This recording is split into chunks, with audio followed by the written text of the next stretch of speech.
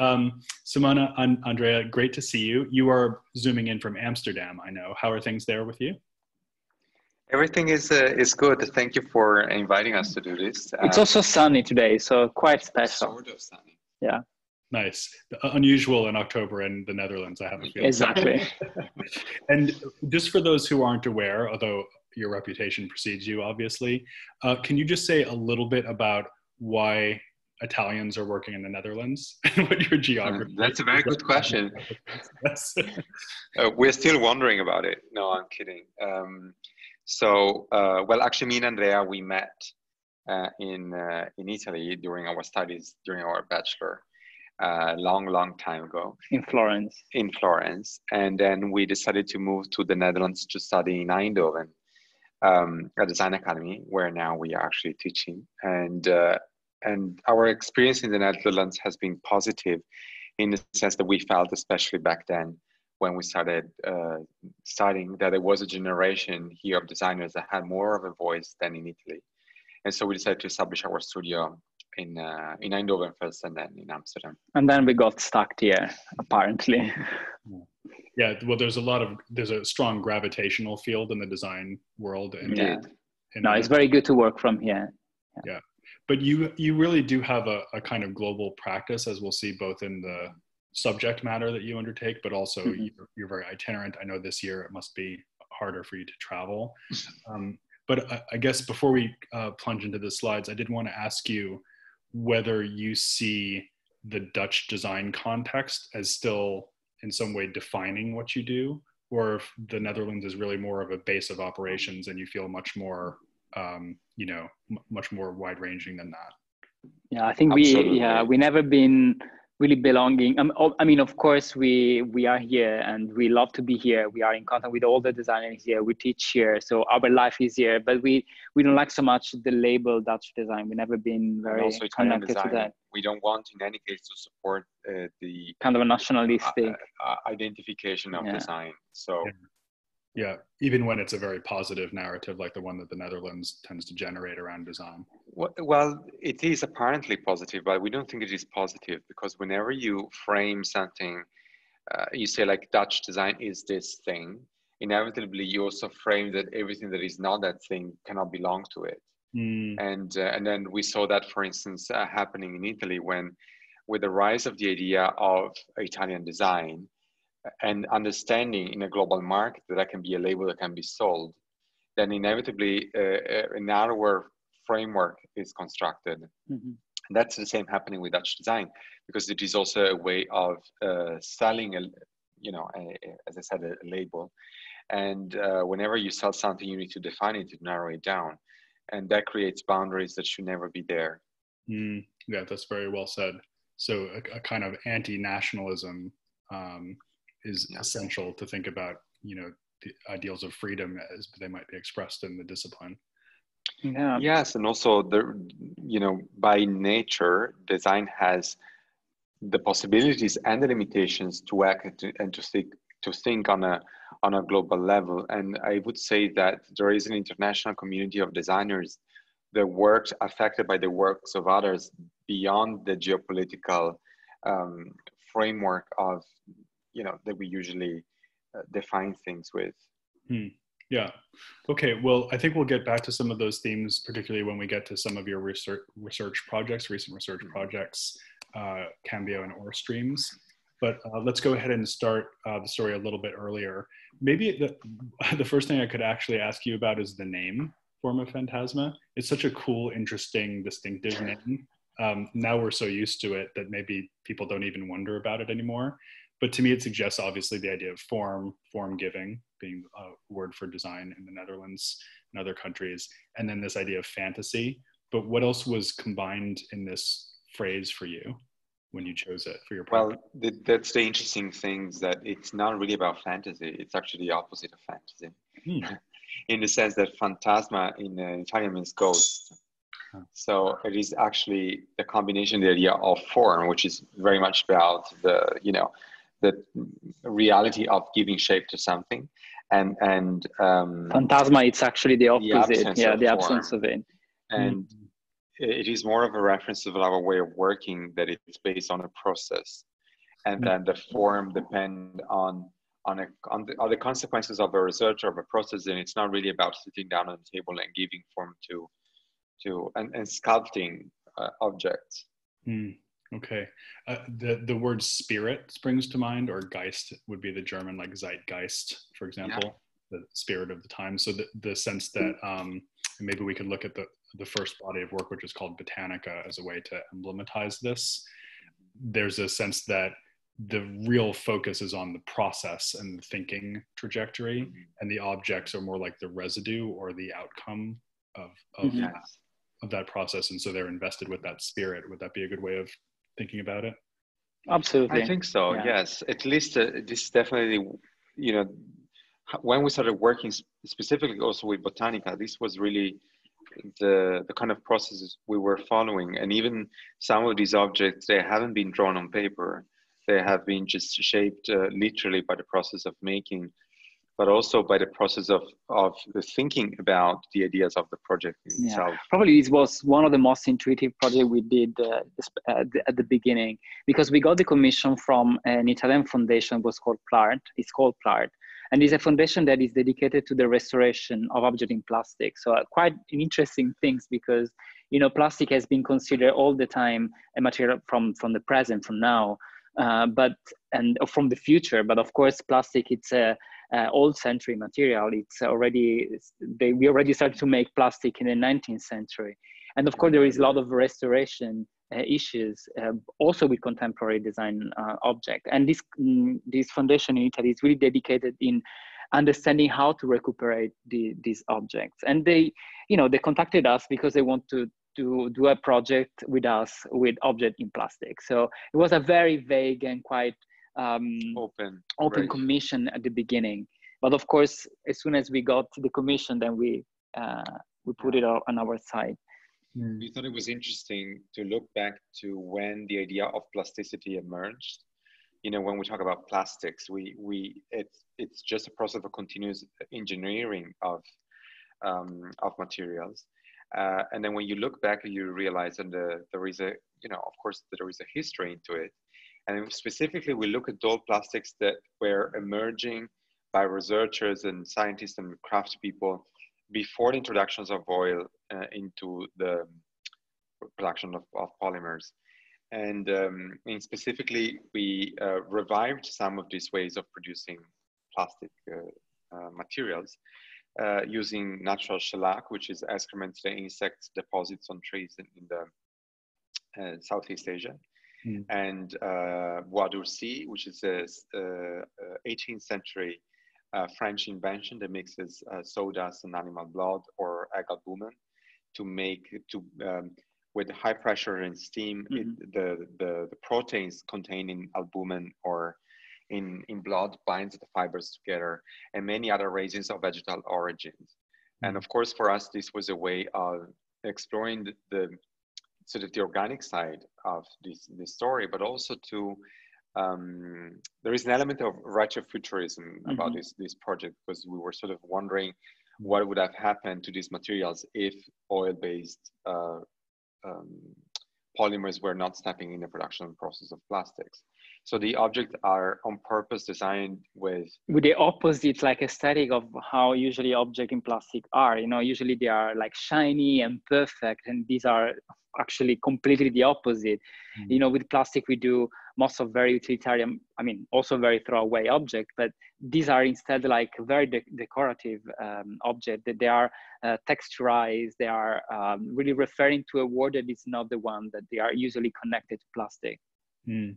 I remember when I, I think first met you guys uh, visiting you in the studio, you were working on this project and your studio was something like a kitchen or a mad scientist laboratory. There were things bubbling away on burners. Yes. And, Absolutely. Yeah, but it, it just makes me think about the shift in design practice that I think you represent so well, which is, as you were saying already, this move away from object forming to thinking about technique and process and craft mm-hmm. as the wellspring from which the object will will come but it really has led you to be almost like scientists or technologists um, or we might just say materialists. Yeah. Yeah. Well, it is a for us. It was an uh, an, instincting. Uh, sorry, uh, our instinct played an important role here in the way we develop our practice because I think there was definitely since the beginning interest into materiality, both I would say on a, a on a physical, physical level, on really on an aesthetic level even.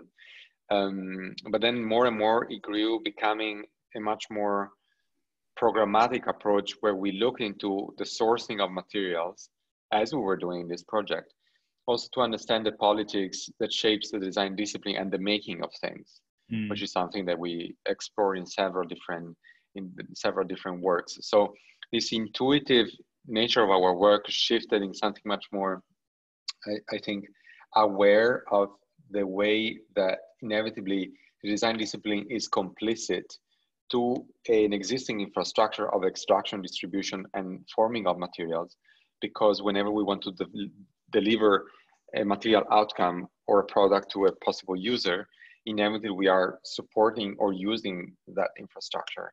And all these projects that we develop over the years that are about materials are actually really looking to the relationship, for instance, between locality and and uh, the extraction of materials and the natura fossilium is one example yeah but before to go maybe to the natura fossilium i want to add something because uh, botanica was also for us one of the first project we did in, indeed in which we did like a material investigation that in a way wanted to connect to a broader audience also a broader industry with botanica we really were not able to do it i mean we, we did a kind of like a, we kept going with the investigation with Droog Design and they connected us with the Wageningen University, and we tried to, to test the material to, to see if they could have like a life in industrial production, but we were not really able to do it. While with the Natura Fossilium, the project that we are now going through, it's uh, something that instead uh, over the happened. years we managed to find this bridge.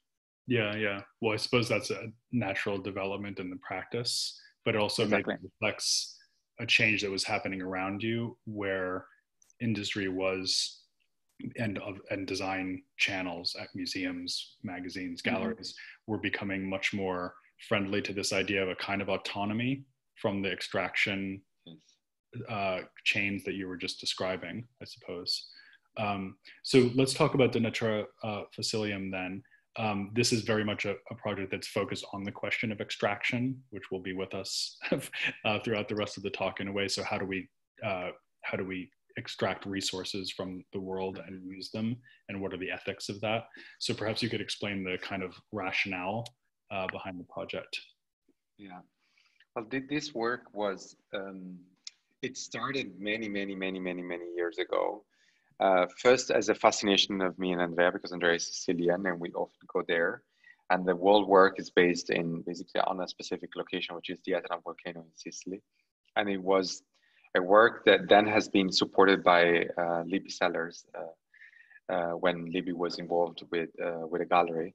And um, we were fascinated by the idea of a, a, place that is a volcano, which is usually used as a form of entertainment for tourists. It is a beautiful landscape, of course, and it's as typical in a lot of Mediterranean uh, areas of Europe. People see the landscape as a form of entertainment. Mm. But for us as designers, what was interesting is that the mountain, which is an active volcano, it looks more like an, a, a location for production because the volcano is exploding quite regularly and uh, exposing materials and, and debris and ashes. And um, we, uh, and I have to say, because you, Andrea, because you're Sicilian, uh, it is quite common in in the surroundings of, of the volcano to have to deal with the nature of this place and which is quite obviously passive mm. and instead we were wondering well actually what can we do literally with this materiality which is available which was very uh, inspiring for us because of course it is non-extractive Mm. You know, it is about the mountains that mines itself and expose materials, and it's not about humans, you know, digging in the underground. Mm. Um, and it's really raining from the sky. I mean, when there are eruptions, and for instance, this is the one that we witnessed while we were developing the project. Um, I mean, like all the streets around the volcano, but I mean, also even quite far from the volcano, like 70 kilometers from far from the volcano, all the streets are completely covered by debris. So mm-hmm. it's something that is really there. And I mean, people are using it nowadays, like more as a way of fertilizing the, the ground. So the ground is very fertile because of this um, uh, debris, yeah. but practically has never been used as a material for design. It's so interesting because you would normally think of the volcano, um, particularly in Italy, Vesuvius and so on, um, as as destructive, but thinking of it as hmm. generative and as this being like a natural smokestack of a kind of gift-giving uh, organic factory. That's really it's a really great way of turning the yeah uh, exactly i mean the first time we visited um, the volcano actually simone visited the volcano we went to the um, souvenir shop like in the on, on top of, of the mountain and they had these like 70s um, ashtrays. ashtrays that they were actually produced molding directly the lava into a mold in uh, um, on top of the volcano. Uh, because at that moment actually the volcano was uh, uh, erupting in an effusive way. So it was a way um, was erupting in a way that you could actually go very close to source it and really source the, the molten lava directly but now the life of the volcano changes it's not anymore like effusive it's a kind of eruptive in a very strong and bold way. So mm-hmm. we had to change completely idea. But let's say that that was probably the starting the point starting when point, yeah, yeah, when we went.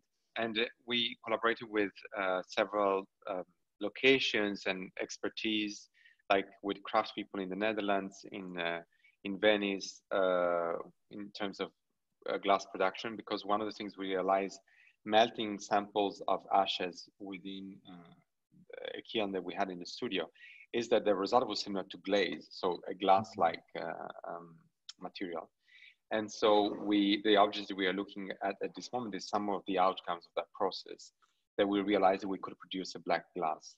So you might wonder like, you know, what is interesting for us, it's not the fact that you can produce black glass, but it's interesting for us that from that location, from that non-extractive source, you, this is the outcome.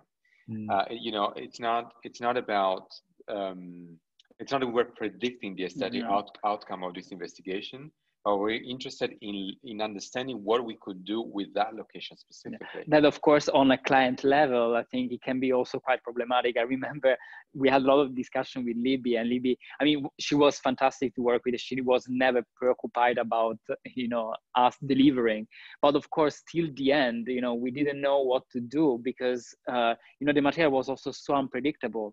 So, mm. for instance, you saw before the those kind of boxes um, and we also did some blown um, uh, object, um, um, but it was very difficult to, to get there. So mm. at the end, we had to go into more um, casted, uh, casted glass. And that's why the geometry of the object resembled, for instance, um, uh, I would say Art Deco or even Memphis-like or Sottsass pieces in a way, which was also the, the, the outcome of that process. Yeah, that's interesting. I was going to ask you about that question of aesthetics and style because mm-hmm. on one level you're using these very i would almost say generic forms like the vases yeah. and botanica or we call them archetypical yeah yeah absolutely it's a little actually like the Hella vase form when she yes. worked with color yeah. something very neutral that becomes a canvas or the box yeah. is this sort of pure geometry that allows you to fore, foreground the materiality. But then when we get to something like this, it does have that kind of Art Deco quality. And then even in Botanica, you were using these addendums and decorations that are very extravagant in a way. And I, I wonder if you could just talk about the question of, I don't know if I want to use the word taste, but the kind mm-hmm. of aesthetic proposition yeah. that you bring to what yeah. was otherwise a very um, material based story. Yeah, well, the there might be a taste, of course, in the objects we do, but of course we don't think about and we don't worry about taste or aesthetic necessarily, mm-hmm. but more about uh, thinking, especially back then to these objects as narrative elements. So there's always narrative components and mm-hmm. decorations are what we can call the decorations are for us a narrative element. Mm-hmm. So in the case of Botanica, for instance, the uh, exuberance of some of the forms where literal uh, also um, form of um, reference to the process of making, but also to the origin of the material. So to the, for instance, to the um, organic and, and botanical world.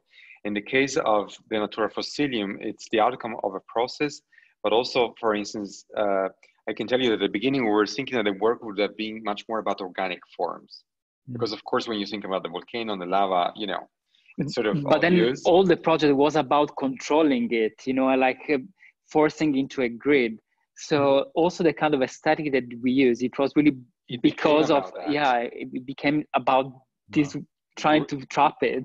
Grids and containment and geometric forms and um, and uh, but for instance, now we have in front this this little coffee table. One of the, the way we started working with these objects that are in basalt actually, it's looking at the stratas in um, where uh, geological stratas where um, this material is extracted, mm. and um, at the base there is the more um, porous stone and the more compact at the top. The combination of the two is also for us a narrative element, but at least for us, because the more compact is the, the oldest uh, eruption and the more gaseous is the most recent eruption. So all the object has this also a literal way of understanding the landscape within the object. Yeah. So you're almost diagramming the stratigraphy. Exactly. Geology and the object. Yes.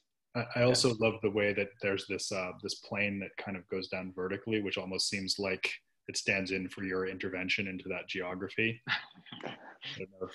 like That's that. a very way, very good way of putting it. Yeah, but but it, it's it's fascinating the way that these otherwise very formalist, I wouldn't say modernist because I agree they're they're not you know they're not conventionally mm. modernist because they allude to these more permissive movements like Art Deco and postmodernism, which are much mm-hmm. more wide open than Bauhausian modernism.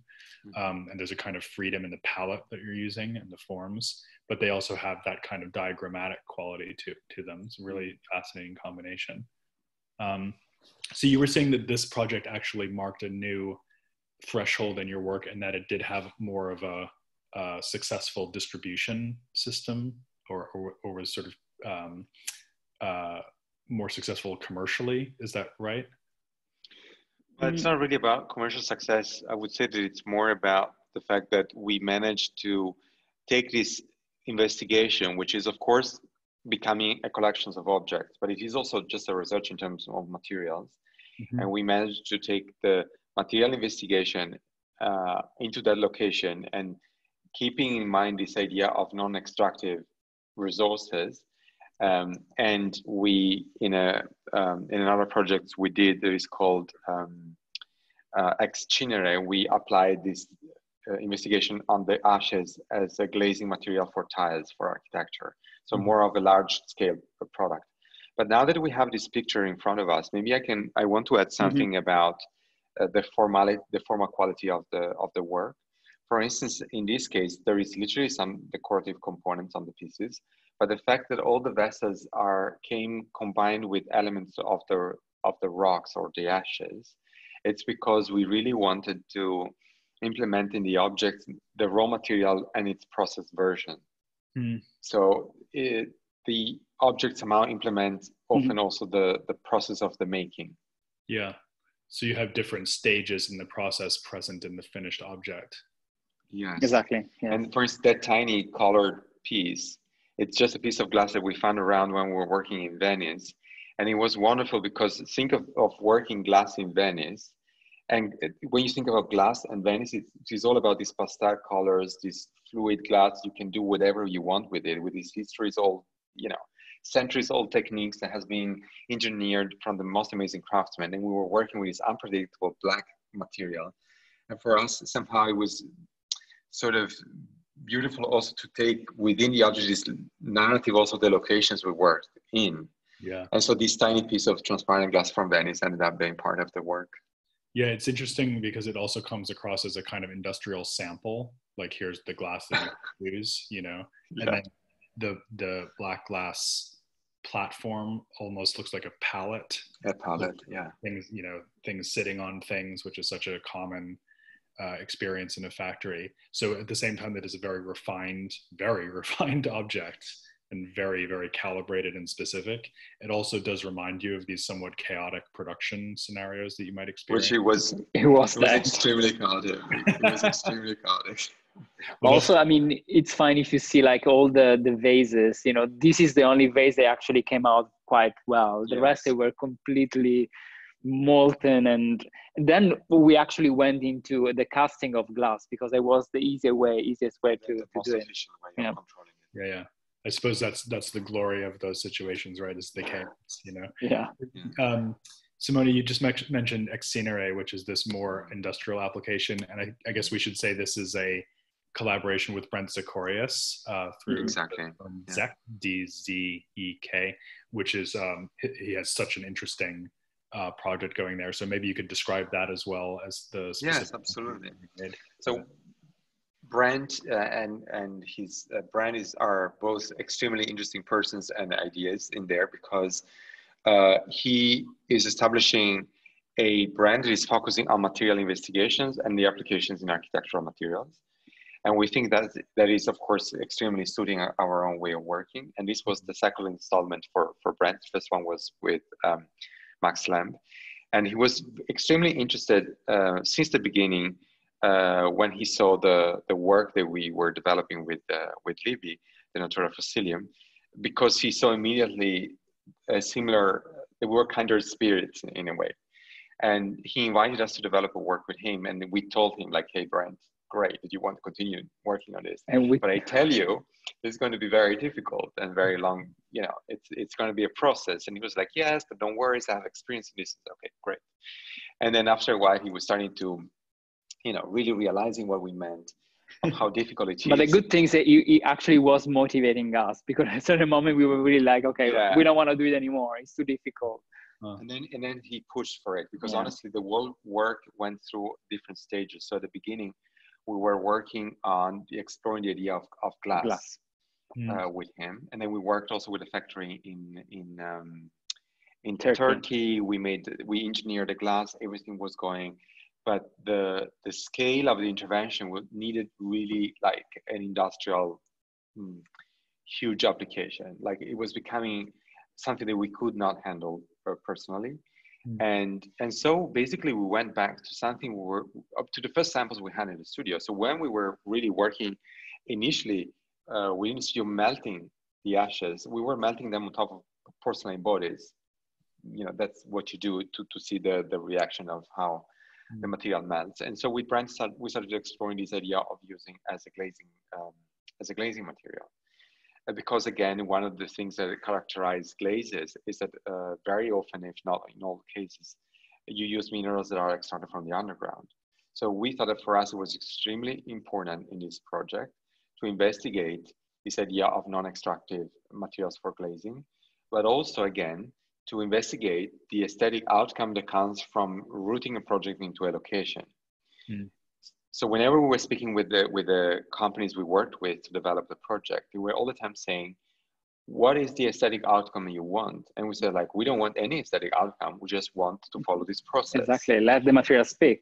And and then uh, and say what is relevant for us is sticking to this idea of this location and what what comes out of it, and which is extremely interesting because um, I guess it, it somehow reversed, it puts a different priority, you know. It, mm-hmm. for, for people developing uh, products that are used to work with design, it is difficult to work with designers. They don't understand design when it is not about the formal or, or an aesthetic outcome. You know what I mean? One would be departing from an idea. So this was what was challenging also for, for this work. Huh because they, they expect you to come in and give it some specific extravagant form that will do the communicating, but you want the or or or they were saying, how do you want the glazes to look? And we were like, let's see what happened when you put it in the kiln. You know what I mean? Like it's it's really part of experimenting with it. Mm. So, and of course, when we do it within our own studio in our kiln, we can try out. But when we need to discuss with people, they're not into trying out, but they are just, you know, good in buying. Uh, uh, existing um, glazes and then applying on ceramic, of course, the kind of like way of establishing this course is completely different.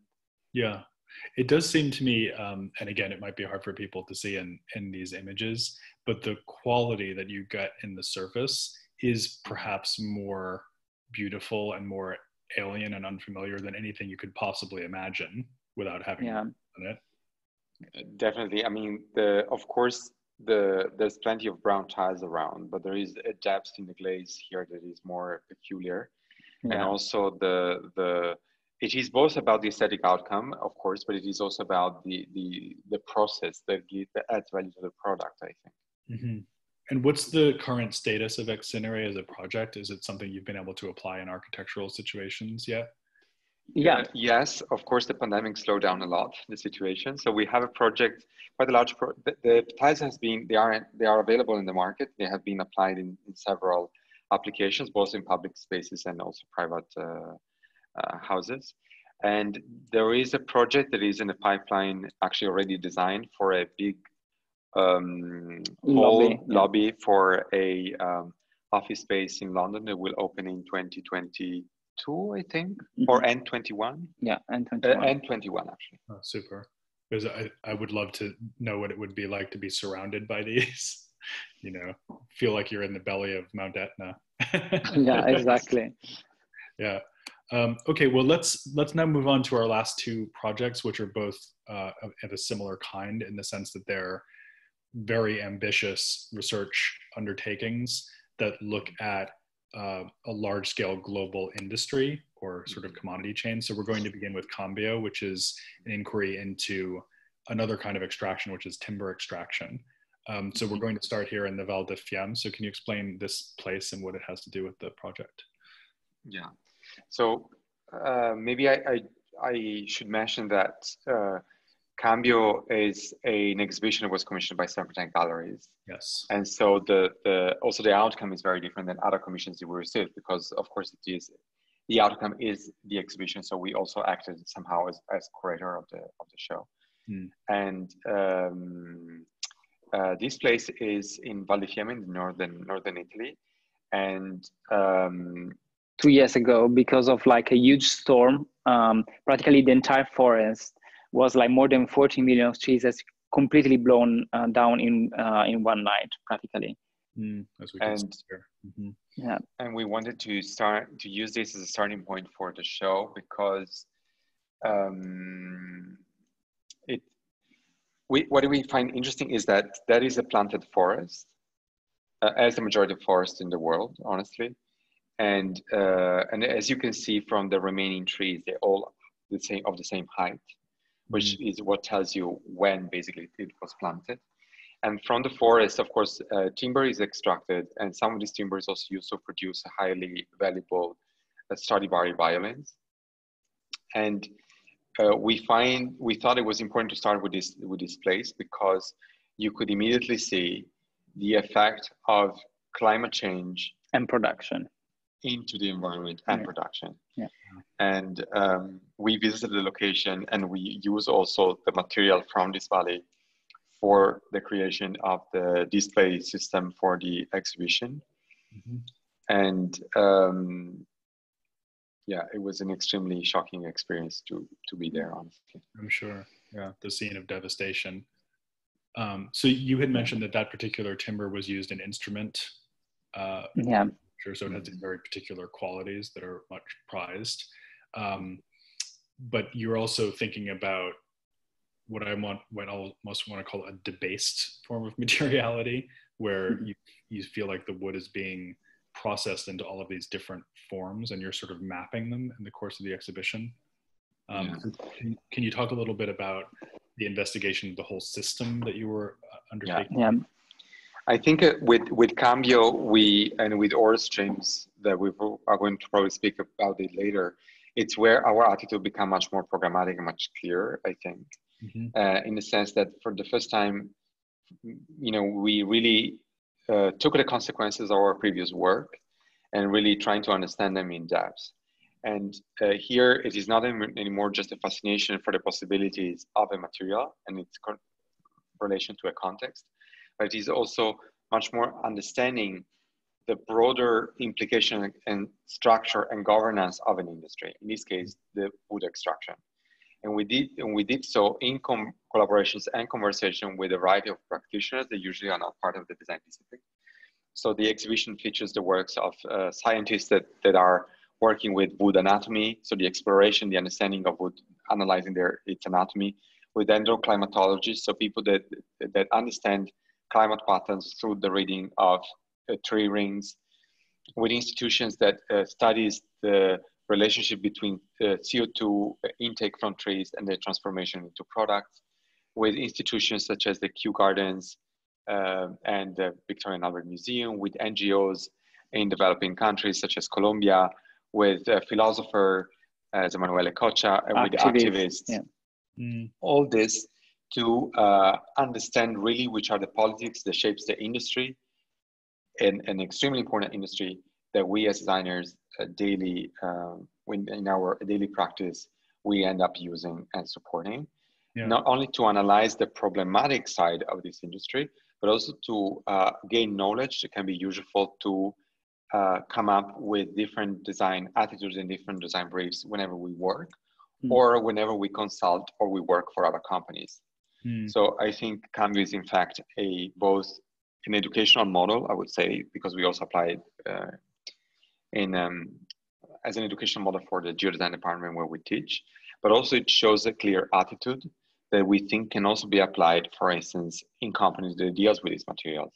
What I mean to say is that with this body of knowledge, we and with this attitude, we can think, for instance, of how, for instance, a business model could be different, or how a product can be differently designed to to uh, really become uh, ecological and a more realistic perspective than just choosing a material that supposedly is ecological. Yeah. Yeah, you know, one thing that strikes me about the project too is that it um, maybe a little bit unlike the De Natura Fossilium, which is about the gift of the volcano. Here, you're really exploring the contingencies and implications that designers and manufacturers necessarily have.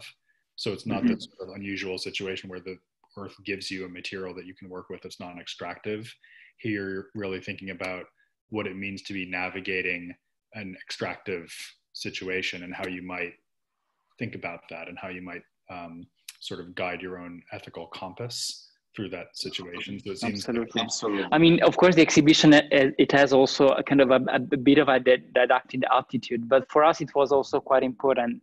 First, because like uh, the Serpentine as a location is within a park, so there are a lot of people that are not even related to design; they are enter in, and then also because I think for us it was almost important to start from the beginning you know like and for instance these are beautiful images of um, the xylarium of the kew garden and it's interesting that you know those beautiful uh, blocks of uh, wood that we find we see in the photos in any case comes from exploitation of resources during colonial time and they've been mm. uh, the uh, the foundation actually of the design discipline so um, and there refers to yeah, the, the foundation of the design discipline because the, the, these samples were also exhibited in, in the, the, great exhibition, great exhibition. of the 51 yeah. yeah. and uh, and through the selling of the tickets of that exhibition also the victoria and albert museum was founded well, and also, also, the xylarium was founded and the serpentine is sitting right next to the site right? exactly exactly so for us it was quite important to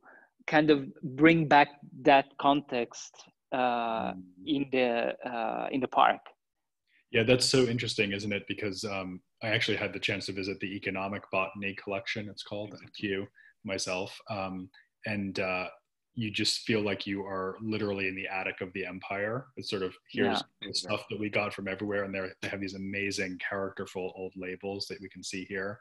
But you really feel like this is the harvest of the British Empire's campaign yeah. of exploitation but interestingly enough that already like in the 19th century 18th century actually most of those those uh, trees um, they were already like uh, uh, gone. So there are like some etiquette especially in this part of the exhibition. These were the wood from the uh, great exhibition.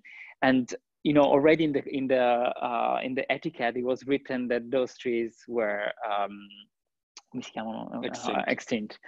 So mm-hmm. again you know we know we are aware about these things since uh, you know 300 years and yeah. you know, we almost didn't do anything for it so can i ask you a question about the way this show looks to you now having done it and knowing what's happened in 2020 um, because um, uh, the the sorry this is just a still from a video from the show but um, i guess what what i want to ask you about is the way that our uh, understanding of this global situation has been changed by the pandemic and being isolated from the usual um, connections that you were mapping in the show? Mm-hmm.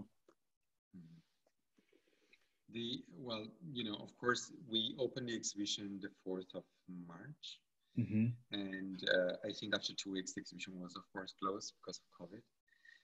Um, but I think that, uh, of course, the exhibition was affected by it. Now it is, uh, fortunately, it's reopened again, and it will stay open till basically the end of the year.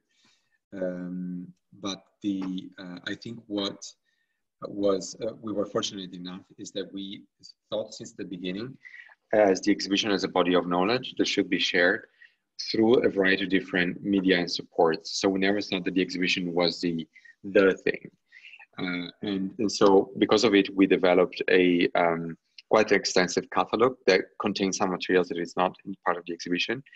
And prior of the exhibition opening, without knowing, of course, of the pandemic, we also developed a website, which is Cambio.website, where you can see the exhibition uh, documented. But there is also all the extra content that didn't work in the format of um, of an exhibition that can still be shared with uh, with others. Because the idea of the exhibition is also that it is a body of knowledge. It is not only ours but it should be also appropriated by others that might be interested in looking into it. Mm, okay and and do you feel like um, there i mean this is a highly speculative question maybe but do you feel like the events of 2020 have in a way prepared the audience to receive this message in a different way than perhaps would have been otherwise mm. if not for covid-19 i mean i really hope so. Yeah but i have to say yes. I mean we also see the, in the requests we had from companies after we we exhibited the work mm. that they are i mean not all of them but some companies are coming not only because they are interested in our aesthetic side but they are also interested in our thinking so for instance, now we are in, discuss, in discussion with um, a very interesting uh, Northern European country in order to, um, company. company. sorry, um, industrial design company, uh, because they're interested in the process of Cambio and to see how we can implement that into their, their own, their own uh, brand. So I, th- I think uh, this summer reflection for sure helped people yeah. and company to rethink their model for sure. I mean, yeah, for sure. But also, it is evident that we can no longer um, divide the complex entanglements between design and the environment. Mm. And the virus is showing us clearly the consequences, for instance, of deforestation and how species that shouldn't enter in urban environments they enter and virus I mean, uh, you know yeah. is causing spillovers and so on so um, i think the exhibition is it was sadly timing but also extremely relevant in the moment that it happened i think yeah you know um, i just want to highlight one thing that that um, you said andrea which is that there are now companies that are interested in folding this kind of thinking into their brand mm-hmm. which you know brand is maybe a harsh word that pe- gets people's backs up a little bit but I, I would argue anyway i don't know what you think about this that unless design companies and manufacturers do absorb this kind of thinking into their brand identity and their way of doing things and um, the particular way in which they do capitalism the situation that we're in just won't change because the economies of scale require the private sector to embrace this sort of uh, self. Yeah. I mean, you, you touched upon into the main problem. In yeah. in fact, I completely agree with you that uh, there is a scale of intervention to change things that is not possible while we don't rethink capitalism. So that's obvious. But we can also think about different scales of intervention. Solutions are never, there's never one solution but to problems, but there is always the need of a multitude of mm. solutions that act in different timescales. Mm-hmm. So if we can make a company that is still based on a capitalist uh, growth model a bit more sustainable or aware on how to make uh, more ecological choices that will ne- it, it will in any case a be a positive uh, improvement and uh, in changing the culture from within. Mm. Is that is that the solution? No, no. Yeah. but it is a, a, a, small triggering point. We often make this metaphor, or it's not a metaphor, but we visualize problems in this way as a gigantic body, and and and the climate problem is it is as a gigantic body, and only with an acupuncture of several interventions mm. we can cure it. It's mm. never about one solution, and it's also about a small scale solution. It is top down, but it is also bottom up. You know what I mean? It's never one thing. It is a multitude. I, I love that um, analogy. Uh, is it an analogy, a metaphor, whatever it is? yeah, I think it is an analogy, bro. I love the, the idea that a whole design practice could be like one acupuncture needle that goes mm, into the yeah. body of the problem and the kind of precision that that implies and the focus that it implies. And it also helps you realize that you know if enough people work on it together each in their own location exactly. Exactly. that, that their own scale is quite tiny like the needle point but they are still working on the problem. Um, yeah. Yeah because this it's the scary part of like a, a huge issue like the ecological one is that you know of course us as a studio we are not making any difference but if you start to have like thousand of us maybe you know it will eventually. It's also the shift in consciousness that a high profile design um, practice like yours might have. So there's unpredictable yeah. ripples that uh, emanate from what you're doing. Well let's finish off by talking about ore streams which um, to me anyway seems like a somewhat parallel endeavor mm-hmm. but looking at a mm-hmm. different materiality so the materiality of the electronics industry um, yeah. i suppose it's a good way to finish because of course in, in so much as we're might be sitting on wooden chairs we're depending on the, the timber industry but right now we're actually zooming on computers so exactly. we are totally implicated in this story so maybe good to say that at the beginning so um, maybe you could just tell us the narrative of this project and, it, and its yeah. outputs as well it was a work commissioned by the National Gallery of Victoria in Melbourne and from the Triennale in Milano for Broken Nature exhibition, created by Paola Antonelli. And uh, I'm mentioning this also because the actually starting point of the work was looking into one of the biggest Australian industries, which was the which is the extraction of minerals from the underground. And but we focus specifically on metals and the, the project let's say became more focused in the moment that we realized that um, according to some statistics that you know with the recent changes maybe they're not anymore that precise anymore but by the end of the century the majority of resources we will use for, for productions of things in metals we come from uh, above the surface of the planet because of recycling of metals mm-hmm. Mm-hmm.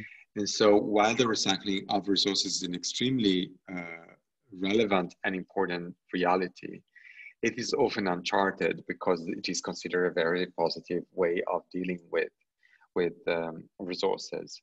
Nevertheless, when we talk about electronic waste, there is a reality is extremely complex because uh, uh, electronics are extremely difficult to be recycled and often still nowadays, even if there has been international treaties and agreements mm. uh, to fight that. Uh, still, this um, waste is exported in developing countries to be uh, recycled in very informal ways, which are possibly harmful for the recyclers and the uh, the environment. Mm. And um, we decided to focus uh, also on on this subject because there is also a huge design problem here, which is that the the, this complexity in recycling derive also for, from design decisions. Mm. So the, the work um, is basically a um, constant dialogue and research uh, with uh, a set of different uh, practitioners that, that, comes from the uh, production, from the side of production of electronics, the recycling, both in developing and developed I don't like these words, but from Western world, from Western countries and and and uh, non-Western countries, and uh, um, uh, lawmakers and people that deal with with governance of uh, and the policy making, and um, and and researchers that work the university, and collecting all these different expertise, and of course recyclers, um, collecting all these different expertise uh, and knowledge helped us in, in coming up with uh, a series of pragmatic uh, proposals for both the governance uh, of uh, how products are designed, but also with very simple strategies that could be applied nowadays to make uh, electronic objects more repairable and recyclable. Mm, okay. So it has both a poetic and a practical register yeah. project. Yeah, absolutely, absolutely. We also designed some some a series of uh, furniture objects.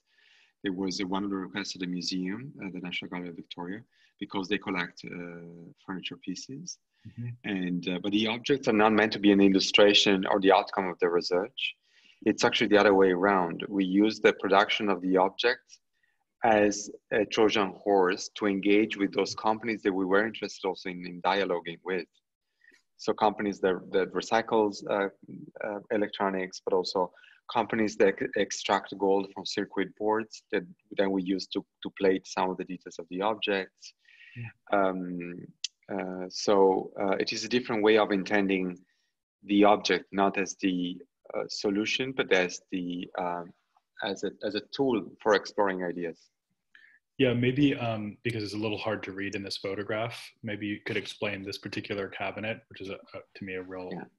uh, emblematic object from the project as a whole. Um, so, what are people looking at exactly here? well, it is a, it's a file cabinet, I would say, and it has been produced using uh, computer cases uh, from a dead stock of a Chinese company. Um, so they are practically objects. They were, uh, I mean, they were like in a, a, a how do you call it? Like recycling facility. Yeah, recycling facility to be destroyed. Mm. Uh, and then we just ask uh, to give it to us because they were perfect actually. And the objects are printed with images from uh, from uh, the surface of Mars. Yeah, which is a reference to how um, there are several interests in understanding what Mars is made of, also for uh, uh, exploitation purposes.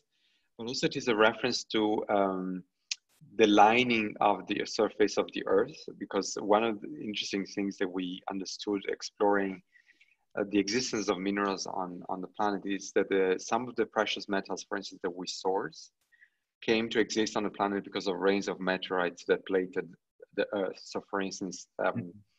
gold is a, in a way of alien origin. So we thought it was interesting to, um, in the work, to zoom extremely in the, the dynamics of uh, production of electronics and so on, but to also have these images of that moves out from the perspective of the of even of human perspective within the planet and to to have this more um, extraterrestrial view almost on the work. Yeah. And the pieces all the time uh, reference the office. Um, we did um, cubicles um, and office furniture um, because we, uh, well, of course, because also electronics, you know, are extremely important within the office, but also the office is the environment in which the fragmentations of work, the subdivisions of work, of resources, of compiling papers for the transportation of the resources is happening. So for mm. us, somehow the office became the uh, ideal environment where to talk about these issues compare for instance that the home. It's like the natural ecosystem for thinking through exactly. industry thank you. This yeah. is very well said. Exactly. Um, that's actually our last uh, image so maybe i could get you guys back on full screen here. And um, as we just get into our q&a we just have a couple of minutes but let me ask a first question and please if, if uh, the audience has others uh, do let us know but um, I'm curious to know when you're working with these teams of experts, you know, the botanists and the geologists and everyone, the scientists that you're bringing to bear, what what do you think your own expertise as designers turns out to be in that situation? Because I, I would imagine it must be very clarifying because it sort of exposes what your own contribution in this multi-level conversation is. Yeah. I would say that we see each other more as a connector uh, in the case of uh, when we speak with these people but also translator because most of the time you know like we speak with um, scientists and they make amazing research but they're not, not very good in um, extrapolating those information and make them available to others than not for the scientific world. So probably one of the things we try to do the most is try to find ways of make things available and understandable for uh, for for, the, others. Yeah, for others. But there is also, for instance, the case of Ore Streams, uh, I would say that what is very important is that we are designers and we can, and our knowledge is, is important in understanding the design problem in that context, so for instance, but also the fact that we are independent actors mm. that can engage with these different practitioners and create those missing links mm. that are that are missing. Sim- yeah. It is as simple as that. Yeah. Um, but I would also say that there is a space there that it's the fact that you know, for instance, if you think about also the governance of how to design or how to make how to recycle electronics, inevitably that's also a design question. Or mm. designers should be involved in that conversation. Mm. Designers usually are not involved. Mm. So um, I think what we add is simply the fact that we are designers. You know what I mean? And we have design perspective, and designers are the people that shapes things. And so it is important that the people that regulate the industry and the people that shape things should be in much more in-depth conversation than one delivering briefs to the other. Yeah, yeah, absolutely. That's a great um, almost a definition of how designers could contribute to reshaping the 21st century in fact. So it's beautifully said. Yeah. Um, let's get a couple of questions. We've got some questions from some friends here. So starting with libby sellers who we mentioned earlier. Um, so libby has i'm going to say this is maybe the best question we've ever gotten on the show since we started. I'm just going to read it out. She says so many of your recent projects highlight the positives of open source systems of infor- information and shared authorship here's why it's the best question for obvious reasons, I'm reminded of Enzo Mari and his great project Autoproduzione. Uh, for those that don't know, the great Enzo Mari passed away this last weekend. Um, so very sad uh, moment to lose that, that giant of Italian design.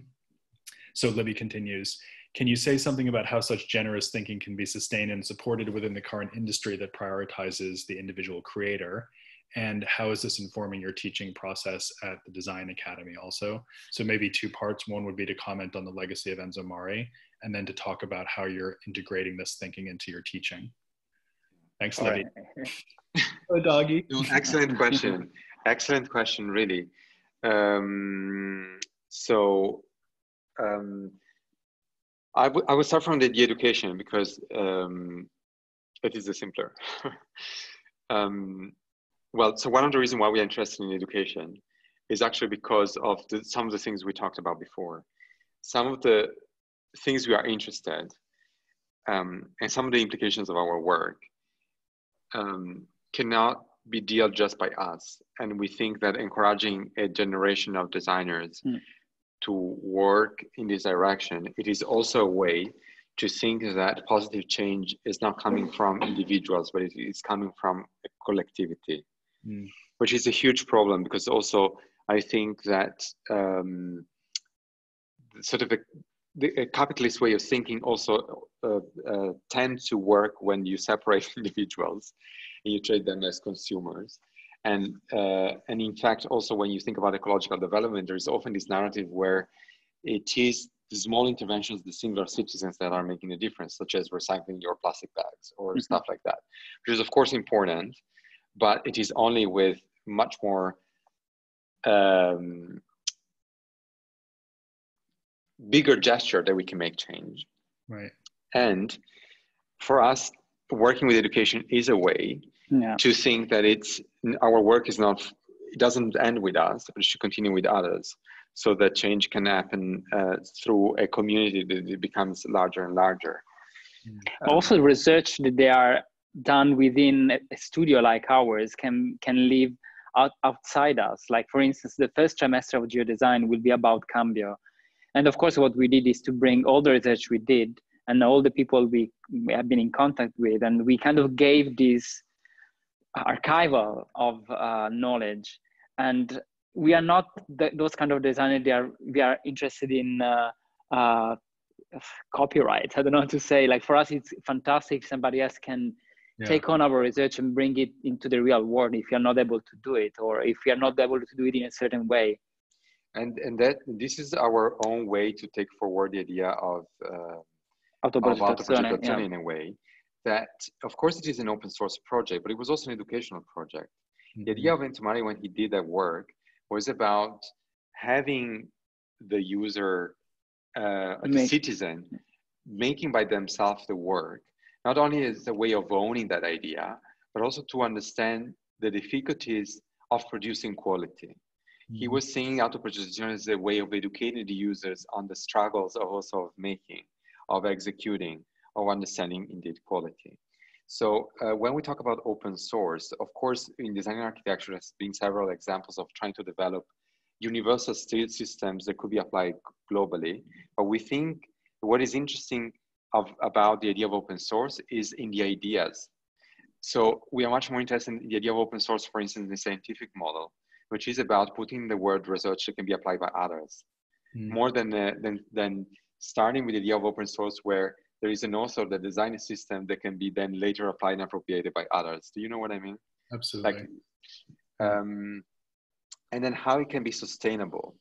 I think there was also questions about that. Mm. Uh, from Libby, I guess it was also about mm-hmm. can be sustained. Yeah. How can how can this be sustained? Which is a, also a very good question uh, the way we do it is uh, sort of fragmenting our practice in a variety of different uh, scales of intervention. So there is also a commercial side of our practice, mm. which trying to engage with, with clients. And there is our heavily research-based practice, which is now clearly um, out there in the world with Cambio and with Ore Streams and um, and of course there is the gallery works and the collaborations with uh, Stagetti, with Libby, with you know galleries we worked uh, with. We should also um, mention exhibition design because we have incredibly we had ex- a very recent project at the Rijksmuseum, which was such a huge success. So yeah, exactly, and exhibition design, which is another way for us to to uh, apply our our skills and to take there even our critical attitude critical attitude so for mm. instance, we can all, not always doing that, but for instance, the example of exhibition design is a way of, of responding to a very practical need. But the way we are trying to think it over time is to also think about the um, how to deal yeah. with the ephemerality, which is of course a huge problem in terms of ecological uh, mm. impact of that. Yeah. Um, so our practice always try to bridge our research-based uh, approach with a more, uh, obviously, commercial outcomes even if we're not really an extremely commercial studio. Um, and it is a, a, struggle, but that tension is also what makes it healthy, I think. Yeah. So that, that's a great bridge. Um, and I have to say, listening to you it makes me sound like you have, maybe have more than one acupuncture needle in your hands. but um, but uh, I'll just ask one last question, uh, which comes to us from my colleague Stephen Burks, uh, co-host of the program. This is, I think, a great final question. He says, after so many explorations and research in products, do you still believe that design is the best creative medium for sharing your ideas? So are you still believers yes. in design? yes. Absolutely. Yes. yes. Yes, because we are interested in design. Yeah, exactly. design discipline.